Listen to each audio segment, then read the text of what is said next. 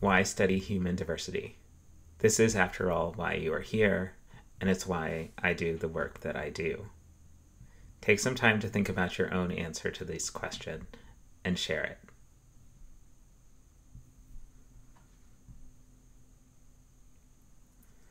I also have a set of my own answers to this question, which I'm going to share with you now. First of all, there are more ways of being human than we expect, than we're first aware of, than we know in our own life and in our, own society. And one of the first lessons of anthropological investigation, indeed of travel, of seeing more of the world, is to realize the many ways that people differ, that cultures have different perspectives, uh, that people are living different kinds of lives. Our culture often teaches that there's a grand convergence towards a singular way of living and a singular way of being in the world. But what we see over time is that, in fact, there are many, many extant ways of seeing the world, ways of speaking about the world, and ways of understanding it, and that people are, in fact, creating new ways as we all inhabit this planet together. Second, no matter where we are, we may not be aware of the uh, vast diversity of human experiences that are happening at the same time. So I present this map. We see more than half of human beings living within what is a fairly small circle within East, South, and Southeast Asia. That more people live within that circle than live outside of it. If you, like me, live outside of that circle, you may not have a daily encounter with um, what happens to be more than half of humanity. Conversely, if you live inside that circle, there's vast differences in the spaces that um, are going on beyond it. So I want to give you a sense of, you know, the breadth um, of human experience. One uh, one way that we often think about the limits of human perception and the ways that we interact with the world is through uh, a, a, closed language community, right? A set of people who share the same vocabulary, literally, uh, and and certain ways of thinking about the world, dividing it up, and so on.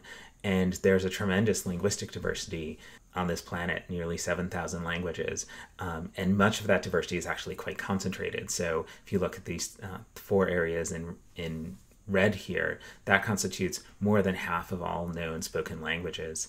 Uh, and so, if one thinks about language as a particular kind of knowledge resource that people have, that tremendous diversity is uh, highly concentrated, but also there's just so much difference to be aware of uh, all around this planet. It's also highly significant for us to think through how human actions have a tremendous impact on our planet. So, being aware of the kinds of choices that people can make and the ways that they can inhabit the earth is extremely important, not just for understanding other people, but for understanding uh, our choices and how those choices influence um, the future of the planet that we live on and depend on. It's important to study human diversity because the very process of being human and being embedded in a set of meanings is to provide ourselves with a sense of normalcy of what is unchosen, what um, is just taken as a given. Um, and so, literally, any part of the human experience can seem from the inside as normal and perhaps universal, just the way that human beings are.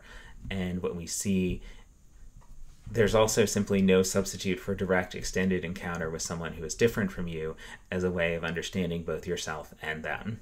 And um, while it, that is true, it is also the case that anthropological work by other people is kind of the closest thing that we have to having that direct approach to people that we can't find a way to be in the same room with us.